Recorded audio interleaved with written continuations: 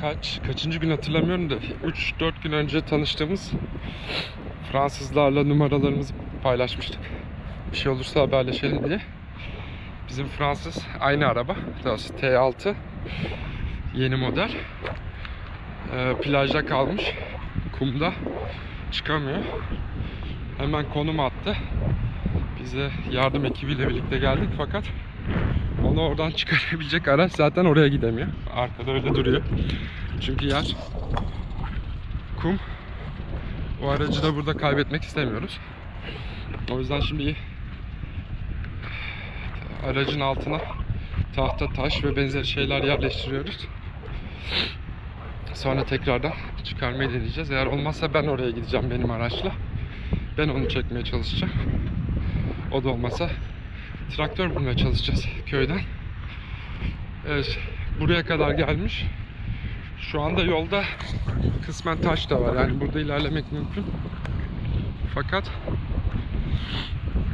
şöyle yukarı doğru tutayım. Biraz ileride. Yani bundan buradan itibaren eğer doğru lastik seçimi yapılmadıysa ve havası indirilmediyse sıkıntılı. Ki burayı da çıkmayı başarmış. Zor olanı başarmış. Şu diğerini de çıkmayı başarmış. O daha da zor. Ama sonra sola dönünce kalmış. Şimdi olay yerine bir bakalım. Je video. Sur mon site. Ve işte. He? Aa sit ya. Ve işte araç. Gördüğünüz gibi. Kumun altında. Bu havada. Soğuk bir bira. Si vous aimez bien boire un café, vous pouvez aller chez moi. Ma copine elle dit que vous pouvez venir. euh, Oui, c'est gentil, mais moi le café, j'en. Sinon, un- un- D'accord.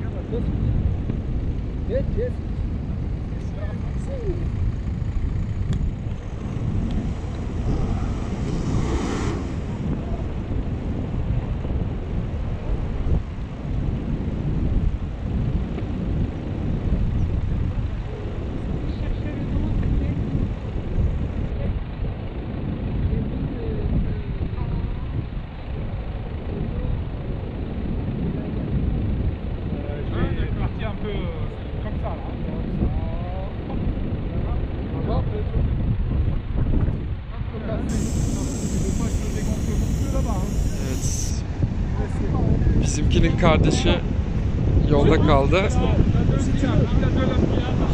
Onu şimdi bizi aradılar. Yardıma geldik. Birkaç taş koyduk. Çıkarmaya çalışıyoruz. Ah, bakalım. Umarım onu da kurtaracağız.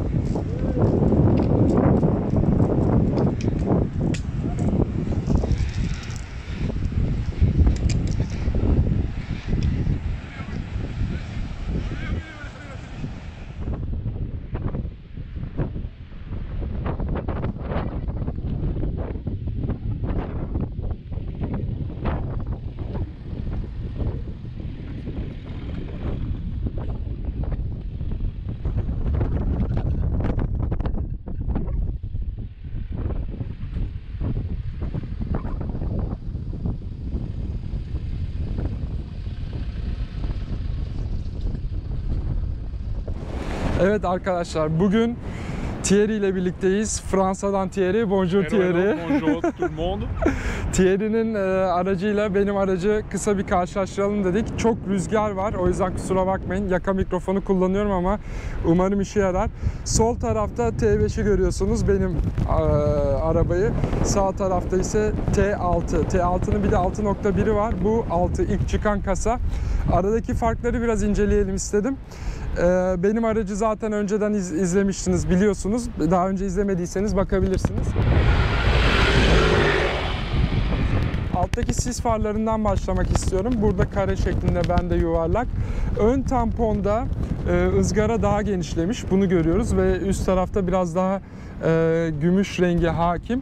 Aynı zamanda bu aracı full aksesuar bu araç. Bu aracın üstünde bir de burada gördüğünüz bu e, algı cihazı var. Öndeki araçlarınızdaki mesafeyi ölçüyor ve ona göre mesafeyi koruyor. Bu bende yok. Bu e, aksesuar içinde buraya dahil olan bir parça. E, c'est aussi 2 litre, n'est-ce pas? C'est 2 litres, E, bu araçta 2 litre fakat 190 chevaux. 198 198 PS ve bu, bu aracın T6 olduğu için de bu araç aynı zamanda AdBlue ile çalışıyor. Onu da buradan gösterebiliriz. Çok ince detaylar var. Bu aracı inceleme şansım oldu. AdBlue ile çalışıyor. Daha doğa için daha e, sağlıklı. E, içine baktığımız zaman T6.1'lerde bu gösterge elektronik oldu. Burada ise hala analog kullanılmış. Ön tarafa doğru baktığımızda bir değişiklik var. E, bu araçta 4 çeker ve aynı zamanda gördüğünüz gibi aks kontrolünü de sağlayabiliyor. ESP'yi kapatıp açabiliyorsunuz. Onun dışında 4 çeker özelliği de var. Otomatik vites. Ee, bu taraflar biraz değişmiş. Bunun içinde US, USB girişi var. Şöyle şuradan bakarsanız orada olması lazım. Kart koymak için yer yapmışlar. Çok güzel. Onun dışında önde de USB girişi var. Bende bunlar yoktu. Benim versiyonda. Ee, ön camlar bu tutulan yerler biraz değişmiş. Benimki yuvarlak bir uç. Burada bunu biraz daha değiştirmişler. Fakat prensip olarak aynı. Yan taraflara da güneşten korumak için, kapatmak için manyetik örtüsü var. Onu kullanıyoruz demire tutunsun diye. Kontrol panosu aynı. Lambalar ise led. Bu da değişmiş. Şu için bilmiyorum. Bu da gelen bu parçayı belki buraya evet. İşte gördüğünüz gibi şu yuvarlağa, üstteki şu yuvarlağa buraya tutturuyorsunuz açtığınız zaman. Bende ise ayna altındaydı tutacak. Bu da değişmiş buraya konmuş. Bu da ufak bir değişiklik. Ön tarafta başka büyük bir değişiklik görmüyorum. Tabii ki değişiklikler var ama e, yani benim şu anda gözlemleyebildiğim daha büyük bir değişiklik yok. Kasaya baktığımız zaman Kasa e, aynı kasa gibi. Ölçüler zaten aynı. Fakat lastiklerde bir farklılık göreceksiniz. Bu geçen e, onun da videosunu yapacağım. Kumda, arazide kalan araç traktörle çıkarmıştık. Bu aracın da lastikleri aslında offroad'a %30'a %70 olması lazım. Graber marka AT yani all terrain lastikleri var. E, bu aracın aynı zamanda Cycle tarafından özel bir süspansiyon sistemine sahip. O yüzden arkadan baktığınız zaman iki aracı karşılaştırdığınızda e, soldakinin yerden daha yüksek olduğunu göreceksiniz. Sebebi de dediğim gibi e, süspansiyonlarının daha yüksek olması. Araziye daha uygun bir araç. Benim lastiklerim normal yaz lastikleri. Onun ise %30, %70, 30'a 70 arazi lastiği AT dediğimiz ultra, all-terrain lastiklerden.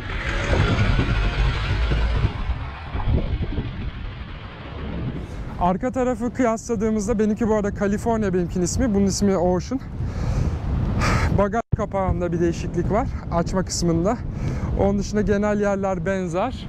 Ee, gördüğünüz gibi şu kısım plakanın olduğu kısım da değişmiş ve kamera üstünde geliyor. Ben de kamerayı kendim takmıştım. Bu tarafa aldığım zaman Kaliforniya'ya baktığımızda arka taraf daha farklı olduğunu, kameranın ise sonradan eklendiğini göreceksiniz. Dediğim gibi bagaj açma kısmı da farklı. Tampon üstündeki korumalar da burada standart üstünde. Burada bagaj açma kısmı elinizle buraya dokunuyorsunuz. Bende ise tuşu şey çekerek yapıyorsunuz. Onun dışında arkadaki çekecek de çıkarılabiliyor.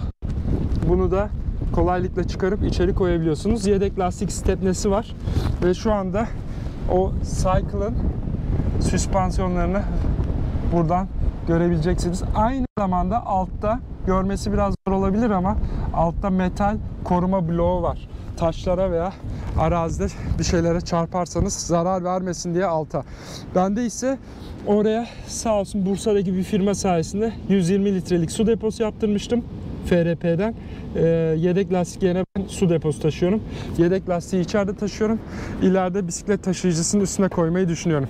Şimdi de aracı açalım. Açıl susam. Açıl diyorum ve gördüğünüz gibi kapı otomatik bir şekilde açılıyor. Şimdi aracın içine bakacağız hızlı bir şekilde. Değişikliklerden hemen bir tanesi ilk göze çarpanı. Burada bende böyle bir parça yok. Işığı buradan açabiliyorsunuz. Aynı zamanda bunu bu parçayı buradan çıkarıp el feneri olarak da kullanabiliyorsunuz. Bunu çok güzel yapmışlar. Çok kullanışlı ve bu burada zaman şarj oluyor.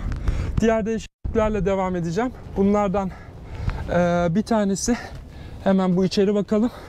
Gördüğünüz ocak bloğunun şöyle hemen kenara biraz çekeyim. Tekrar koyacağım. Ocak bloğu bende tek bir camdan oluşurken burada iki parçaya ayırmışlar. Ben ortada bir parçayla bu şekilde açarken burada iki parça. Böylelikle yemekle işiniz bittiği zaman buraya koyup tekrar bu tarafta sağ tarafta yıkayabilirsiniz. Musluk başı ve musluk uzunluğu biraz değişmiş. Benimki şuraya kadar ve ucu plastik ve bu parça da biraz değişmiş. Onun dışında ama e, prensip aynı. Sol tarafta da gömme buzdolabı var. O da aynı özelliklere sahip. Bulduğumuz gibi bırakalım. Fazla da düzenlerini bozmayalım. Onun dışında içeride şu parça ekstra ekli. Şu gördüğünüz kısım. Buraya girdiğimiz zaman içine ışığı otomatik koymuşlar. Ben bunu sonradan kendim yaptım. Gördüğünüz gibi içeride ışık da var. Onun dışında şuraya bir bakıyorum. Ayna. Bir de bu tarafa bakalım. Burada da portatif tuvalet koymuş kendisi. Bu sonradan eklenmiş. Bir değişiklikte gördüğünüz şu parça burada benim arka taraf boş. Bunu da isterseniz açıp gördüğünüz gibi kullanabiliyorsunuz. Bu da bir aksesuar. Bu taraf normalde yok. Ortadaki dolap var. Şurası var. Bu var. Bu ise altıda ekstra gelmiş bir özellik. Bunu biz arka taraftan dolduruyoruz. Koltuğun arkasından girerek dolduruyoruz. Ee, diğer bütün şeyler benzer. E, Başka bir farklılık burada göremiyorum. Son olarak da size arka tarafı göstereceğim. İçeriği şöyle bir de bu taraftan göstereyim. Dediğim gibi ön konsolda biraz farklılıklar var ama çok büyük bir farklılık yok. Bir de arka tarafa bakalım şimdi. Arka tarafta ne var? Ondan sonra da e, programı bitirelim derim. Evet, şu anda Fas'ta çok güzel bir manzarada Atlantik'in kenarında çekiyoruz. Arka tarafı açtığım zaman duş burada direkt üstünde geliyor. Ben bunu kendim ekstra takmıştım. Bu tarafta aynı hiçbir farklılık yok benimkiyle birlikte. Ee, baktığınız zaman şurada bir arka lambayı yakmak için bir tuş var. Ona bastığınız zaman da gördüğünüz gibi buraya iki lamba eklenmiş. Bunlar yanıyor. Bunlar da bende mevcut değildi. Bunun dışında bütün her şey benzer. Ee, 6.1'de birkaç değişiklik daha oldu. Eğer ona rastlarsak onu da çekerim. Ee, ama gördüğünüz gibi çok çok büyük değişiklikler yok. Fakat bazı ufak detaylar ki biliyorsunuz 50'li yıllardan beri bu kültür var. Her model değişimde 1, 2, 3, 4, 5 ve şimdi 6, ileride 7 de çıkacak. Her model değişikliğinde ufak bir yenilik daha geliyor. En ince detaylara dikkat ediyorlar. O bu detayları da işte bu yayında sizlere göstereyim istedim. Evet, şimdilik bizden bu kadar. Hepinize e, Thierry ile birlikte hoşça kalın diyoruz. Görüşmek üzere. Bay bay. Bye. Ve